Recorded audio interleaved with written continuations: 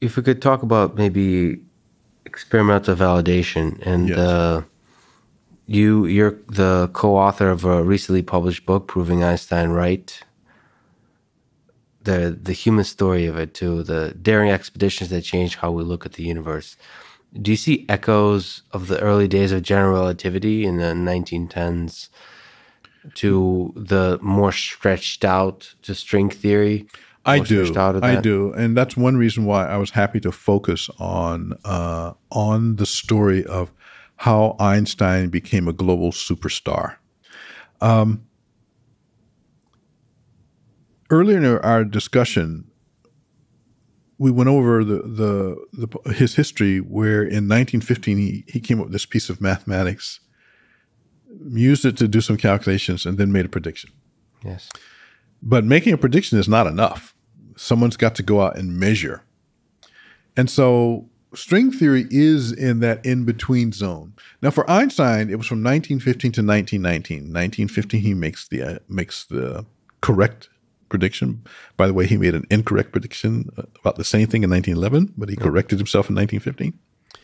And by 1919, the first pieces of experimental observational data became available to say, yes, he's not wrong.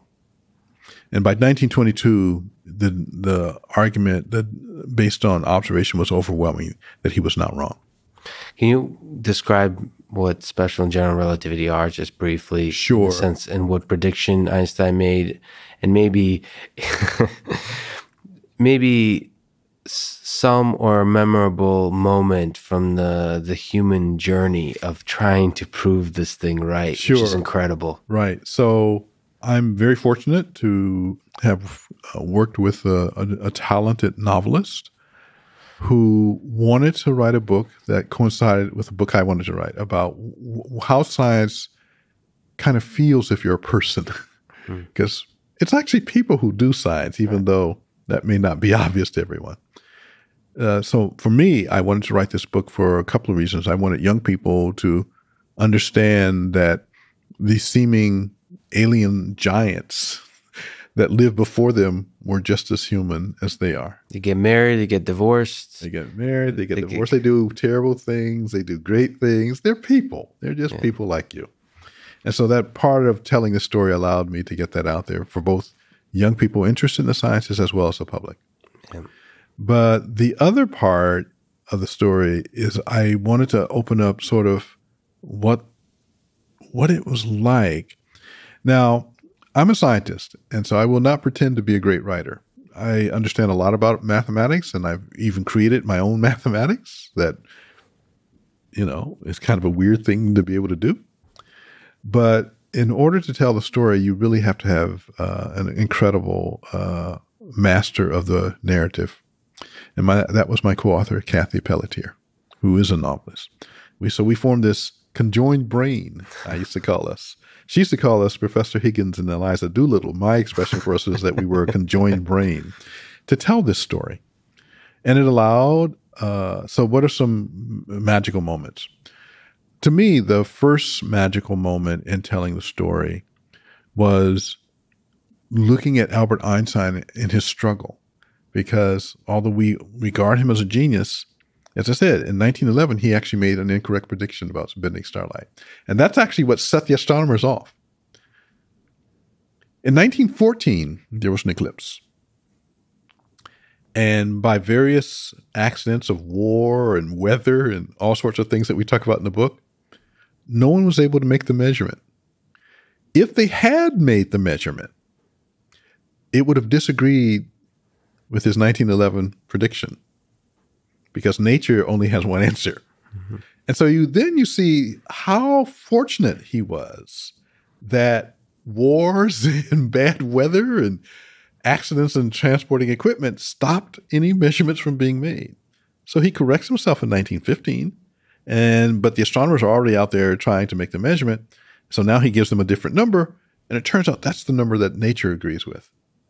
So it gives you a sense of this is a person struggling with something deeply, and it although uh, his deep insight led him to this, it is the circumstance of time, place, and accident but through which we view him. And it could, the story could have turned out very differently, where first he makes a prediction, the measurements are made in 1914, they disagree with his prediction. And so, what would the world view him as? Well, he's this professor who made this prediction that didn't get it right.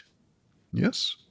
So, the fragility of human history is illustrated by that story. And it's one of my favorite things. You also learn things like uh, in our book, the, how eclipses and watching eclipses was a driver of the development of science in our nation when it was very young. In fact, even before we were a nation, it turns out uh, there were uh, citizens of citizens of this uh, would-be country that were going out trying to measure eclipses. So, some fortune, some misfortune affects the progress of science. Absolutely. Especially with ideas as uh, to me at least if i put myself back in those days as radical as general relativity is uh, first can you describe uh, if it's okay briefly what general relativity is and yeah if could you just take a moment of yeah, put yourself in those shoes uh, in the in academic researchers, scientists of that time, and what is this theory? What is it trying to describe about our world? It's trying to answer the thing that left Isaac Newton puzzled. Isaac Newton says gravity magically goes from one place to another. He doesn't believe it, by the way. He knows right. that's not right. But the mathematics is so good that you have to say, well, I'll throw my qualms away because I'll use it. That's all we use to get uh, a man from the earth to the moon was that mathematics. So I'm one of those scientists and I've seen this. And if I thought deeply about it, maybe I know that Newton himself wasn't comfortable. And so the first thing I would hope that I would feel is, gee, there's this young kid out there who has an idea to fill in this hole that was lay, left with us by Sir Isaac Newton. That would, I hope, would be my reaction. I have a suspicion. I'm, I'm kind of a mathematical creature. Mm-hmm. Uh, I was four years old when I first decided that science was what I wanted to do with my life, and so if my personality back then was like it is now, uh, I think it's probably likely I would want to wanted to have studied his mathematics. What was a piece of mathematics that he was using to make this prediction? Because he didn't actually create that mathematics.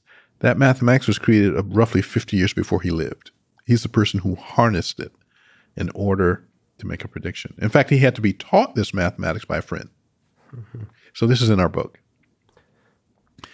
So putting myself in that time, I would want to, like I said, I think I would feel excitement. I would want to know what the mathematics is, and then I would want to do the calculations myself. Because one thing that physics is all about is that you, don't have to take anybody's word for anything. It's you can do it yourself. It does seem that mathematics is a little bit more tolerant of radical ideas, or mathematicians, or people who uh, find beauty in mathematics. Why all the white questions have no good answer. But let me ask: Why do you think Einstein never got the Nobel Prize for general relativity? He got it for the photoelectric effect. That is correct. Well, there, first of all, that's something that is misunderstood about the Nobel Prize in physics. The Nobel Prize in physics is never given for purely giving uh, for purely proposing an idea. It is always given for proposing an idea that has observational support. So he could not get the Nobel Prize for either special relativity nor general relativity because the provisions that Alfred Nobel left for the award prevent that. Uh, but after it's been validated, can he not get it then or no? Yes, but remember the validation doesn't really come until the 1920s. Yeah, but that's why they invented the second Nobel Prize. I mean, uh, Marie Curie, you can get a second Nobel Prize for one of the greatest so so theories me, in physics. So right? let me let's be clear on this. The theory of general relativity had its critics even up until the 50s. So if you had if we had if the committee had wanted to give the prize for general relativity, there were vociferous critics of general relativity up until the 50s. Einstein died in 1955. What, what lessons do you draw from from the story you tell in the book, from general relativity, from the radical nature of the theory, to, to looking at the future of string theory? Well, I think that the string theorists are probably going to retrace this path, but it's going to be far longer and more tortuous, in my opinion. Uh, string theory uh, is such a, a, broad and deep development that, in my opinion, when it becomes acceptable, it's going to be because of a confluence of observations. It's not going to be a single observation. And I have to tell you that. Um, so I gave a seminar here yesterday at MIT, and it's it's on an idea I have about how string theory can leave signatures uh, in the cosmic microwave background, which is an astrophysical structure. And so, if those kinds of observations are borne out, uh, if perhaps uh, other things related to the idea of supersymmetry are borne out, those are going to be the first powerful observationally based pieces of evidence that will begin to do what the Eddington expedition did in 1919. But who that may take several decades. Do you think there will be Nobel prizes given for string theory? No, because because I think the uh, because I, it'll be it'll be I think it will exceed normal human lifetimes.